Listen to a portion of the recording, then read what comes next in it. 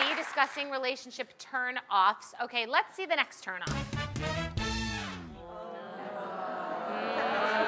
Mm, Mama's boy. Luann, would you date I, a you know, I used to date a mama's boy when I lived uh, abroad, uh, an Italian guy, and he was a real mama's boy. I mean, he lived with his family.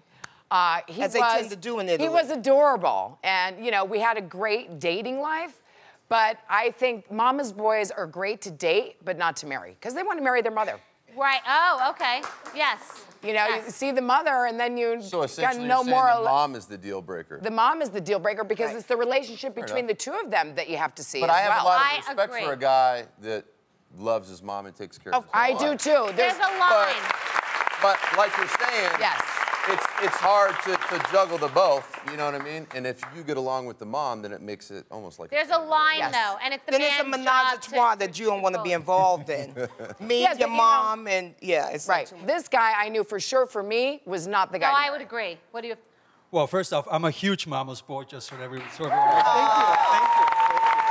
Mom, pick out that And, uh, I think it's a good sign that you get along with your mom rather than I think it's much worse that your mom doesn't get along with you or the other way around. I think uh, troubled relationship with your parents is a worse indicator of something. Yeah, I agree, but where's the line? It's just not about how you get along. It's Well- about what she does for you. Well, or who you're calling first when something happens. Exactly. going right to your mom and not your partner. That's but what It's just not about getting along and loving what your your mother. mom Of course, offers a everybody better wants. solution? And, and, and you are a mama's boy. Mama's boy.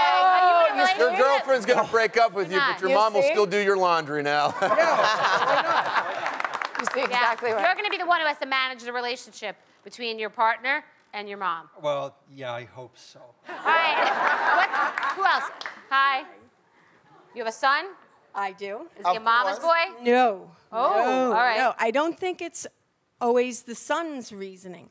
I think the mother has to make sure that you do your laundry. Yes. If you're not eat eating dinner when we are, make your own dinner. Yep.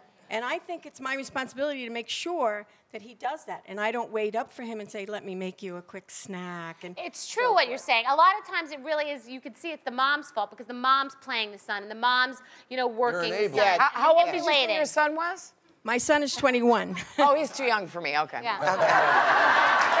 Darn. Because you Just did a by good a job year. raising him. Just so- by like two years. When only he like turns two years 22, she's available. Exactly. Yeah, just in time for my 25th birthday. Yes.